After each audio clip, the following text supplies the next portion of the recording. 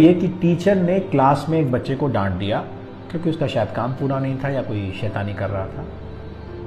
Teacher class से निकल के दूसरी क्लास में चली गई। वो बच्चा दूसरे बच्चों से यह कहता पाया गया कि टीचर ने मुझे डांट, हाथ काट लूँगा और टीचर को जेल पहुँचा दूँगा। इंटरेस्टिंग दूसरा किस्सा। एक टीचर बच्चों की कॉपी चेक कर रही थी किसी क्लास में जब जिस क्लास में कर रही थी, वो दूसरी क्लास के बच्चे की कॉपी शायद चेक कर रही थी इमरजेंसी में।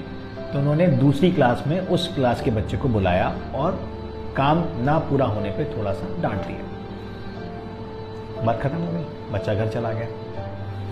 अगले दिन उस बच्चे की माँ स्कूल में भुनभुनाती हुई आई और उसने यह कहा कि मेरे बच्चे को सरेआम दूसरी क्लास में पीटा गया और उसकी बेजती की गई। प्रिंसिपल ने बुलाया। नमस्कार दोस्तों। आ, मैं लकी धीमान मेरे बहुत सारे कुलीग जो हैं या सब्सक्राइबर्स जो हैं मेरे वो मुझे जानते हैं कि मैं एक एक्टिंग एंड डांस टीचर हूँ। मेरे पास कई स्कूल्स का काम है और मैं ये काम 2003 से करता आ रहा हूँ। तो आज एक बहुत अच्छी वीडियो आई मेरे पास जो कि मतलब हर सवाल जो आजकल के टीचर्स के और पेरेंट्स के दरमियान उठते हैं, उनका बहुत अच्छे से विश्लेषण करके अनुराग भाई ने बताया। तो मेरा मन किया कि मैं आपके साथ वो वीडियो शेयर करूँ। तो वीडियो शेयर करने से पहले मैं कुछ, एक दो बातें बोलना चाहता हूँ। मैं ज़्यादा टाइम नहीं लूँगा आपका। आजकल पेरेंट्स और टीचर्स के दरमियान एक कोल्ड वॉर चल रही है। तो पेरेंट्स जो हैं, वो ये समझते हैं कि, ये मानते हैं कि वो मेहनत करते हैं और बच्चों को पढ़ाते हैं, स्कूल को फ़ीस देते हैं। तो जो कि एक्चुअल में सच्चाई है और उसी वजह से टीचर को पे मिलते हैं। लेकिन यहाँ पे बात पेमेंट की या लेने देने की नहीं है, यहाँ पे बात आ जाती है रिस्पेक्ट की। यहाँ पे बात बात आ जाती है आपकी मेहनत की। ये वो काम है जैसे आप बॉर्डर पे किसी को खड़ा कर दो और कहो कि लड़ो और हाथ में राइफल नहीं, डंडा नहीं, पत्थर नहीं, कुछ नहीं है। और आप लड़ाई करने को बोलो और बोल रहे हो कि भाई जीत के दिखाओ। तो वो हालत आज एक टीचर की हो चुकी है कि उसको, उसके ऊपर इतनी ज़्यादा बंदिशें हैं। तो टीचर हार के ये सोचता है कि ठीक है यार, मैं कुछ बोलूँगा तो मेरे ऊपर ही बात आएगी। तो इससे बेटर है। फ्री में मार्क्स दो और बढ़ने दो आगे। तो पेरेंट्स क्या इस बात को यहीं तक रखते हैं? वो दूर की नहीं सोचते हैं। कहीं ना कहीं कमी है। टीचर की कमी तो आप बता देते हो। कहीं ना कहीं पेरेंट्स की भी कमी है। कई बार ना, ज़्यादा शहद भी ना ज़्यादा मीठा भी ना जहर बन जाता है। तो इस टाइम पे, जिस टाइम पे बच्चों को आपको कंट्रोल करना चाहिए, बच्चों को अच्छी अच्छी बातें सिखानी चाहिए, कदर करनी सिखाई, सिखानी चाहिए। आपका बच्चा कुछ गलत करता है तो उसकी सपोर्ट मत करिएगा। क्योंकि आजकल कई जगह हमारे कुलीग्स जो हैं, उनको देखने में आया है या फेस करने में आया है कि बात कुछ भी नहीं हुई होती और बच्चे घर पे जाके इतना शोर मचाते हैं कि कहते हैं कि बहुत बड़ा कांड हो गया जी, मेरे ऊपर तो बहुत अत्याचार हुआ और पेरेंट्स बोरिया बिस्तरा लेके स्कूल के ऊपर चढ़ाई कर देते हैं। तो ऐसा नहीं है। गवर्नमेंट ने बहुत रूल्स बनाए हुए हैं। सब कुछ है। लेकिन रियली अनुराग भाई आगे बताएँगे। मैं ज़्यादा टाइम नहीं लूँगा। चैनल को लाइक सब्सक्राइब करना ना भूले। और अगली वीडियो अनुराग भाई और उनका भी चैनल ज़रूर सब्सक्राइब कीजिएगा ढूंढेगा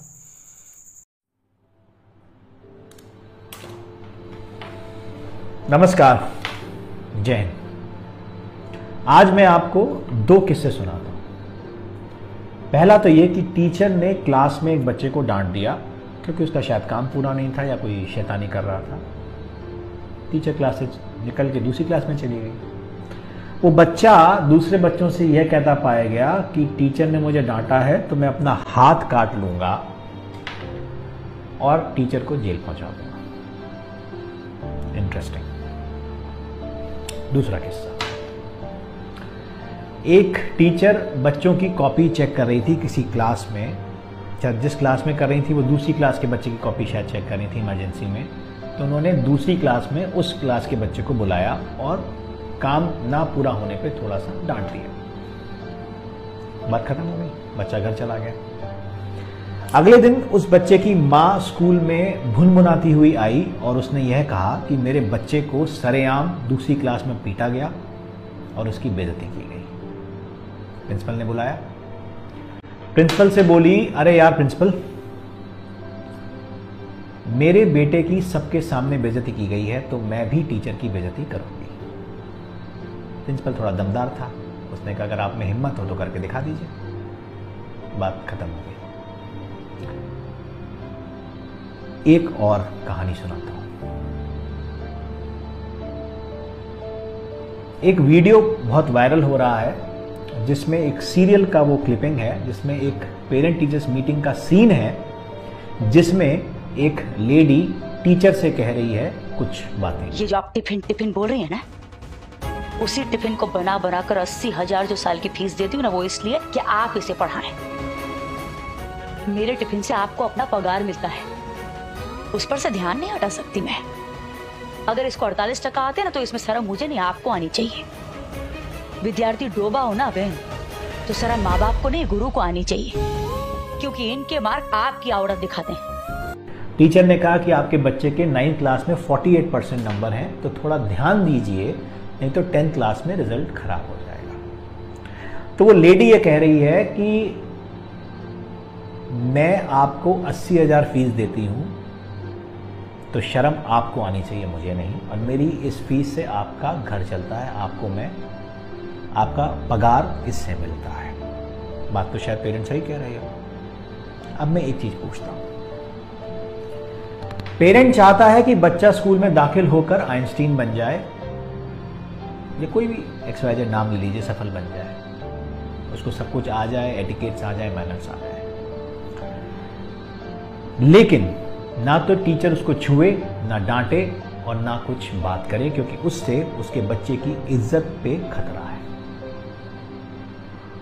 ऐसे ही लगता है। अधिकार आपने पेरेंट बच्चे पे, टीचर को दिए हैं एक चौकीदार के, जो सिर्फ़ देख सकता है, कुछ कर नहीं सकता।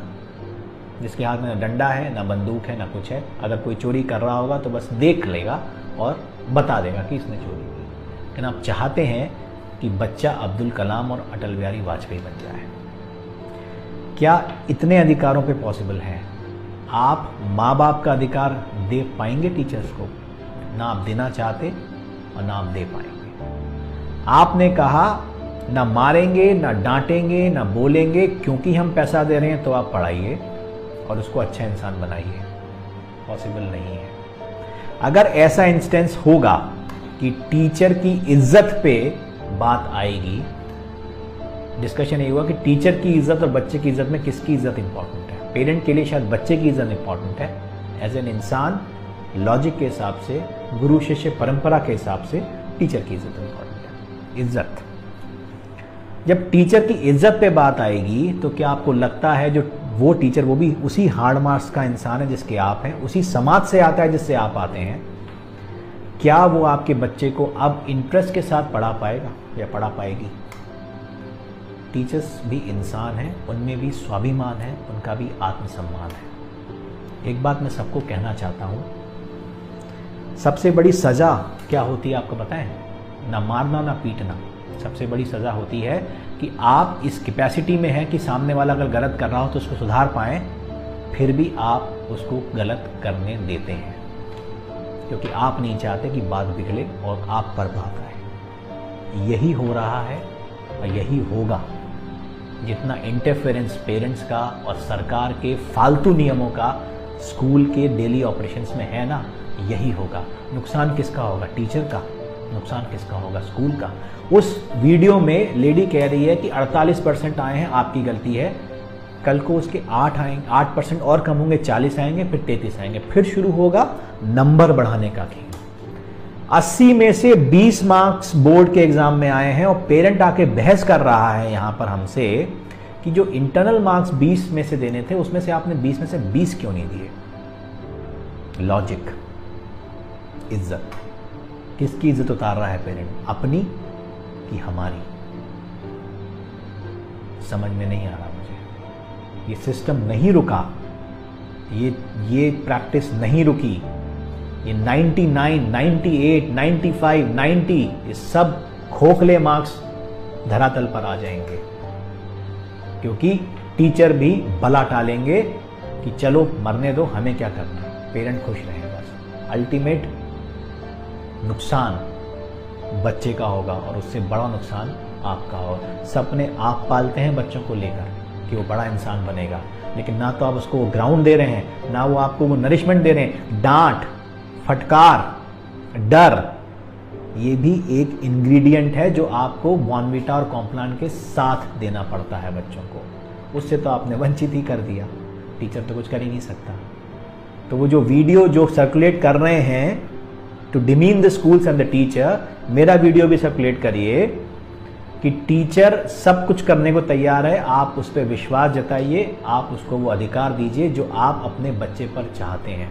कोई बेवकूफ़ नहीं होता कि बच्चे को जान से मार देगा। मार और डर में अंतर होता है। और मैं समझता हूँ कि जो इस प्रोफेशन में है ना, वो आपसे ज़्यादा जानता है। सोचने की ज़रूरत है, सोचिएगा ज़रूर। नमस्कार, जय हिंद।